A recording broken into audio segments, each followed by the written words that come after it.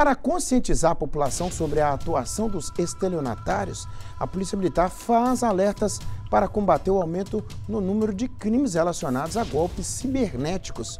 O cabo é, Wildney Francis destaca a importância da prevenção, principalmente nas áreas rurais de Sabinópolis, onde os golpistas têm encontrado mais vítimas, né? É, vamos ouvi-lo.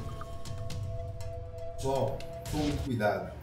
É, hoje, uma pessoa nos procurou falando que acessou um e-mail, do e-mail foi para o aplicativo WhatsApp. Não é somente essa forma. Na realidade, eles procuram outros meios, vai diretamente mesmo através do aplicativo WhatsApp, pega o número e tenta fazer contato com a pessoa.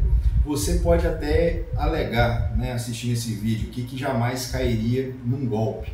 Mas essas pessoas, elas têm evoluindo, né, até mesmo a sua argumentação, você percebe que as mensagens, elas vêm fundamentadas em lei de forma técnica, profissional, né, que chama atenção.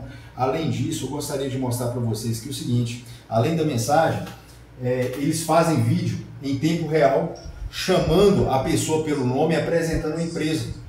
Né? Fala assim, ô fulano, aqui é a empresa, não se trata de golpe, não tenha medo, né? Além de estar tá mostrando a empresa em vídeo real, eles também fazem o seguinte, eles apresentam outras é, é, é, é imagens de pessoas que já conseguiu né, fazer um empréstimo, por exemplo, aqui, ó, bom dia, já caiu o empréstimo, muito obrigado, fiquei com receio, mas tudo certo, graças a Deus. Eles enviam essa mensagem para a pessoa para passar uma certa confiança, é, é, conquistar né, a, a, confiança dessa pessoa, envia alguns documentos para que essa pessoa possa imprimir, possa assinar, digitalizar e enviar. Então observe que eles estão sendo, tentando ser o mais possível profissional, não simplesmente na lábia, mas apresentando também outro cenário para induzir a pessoa ao erro.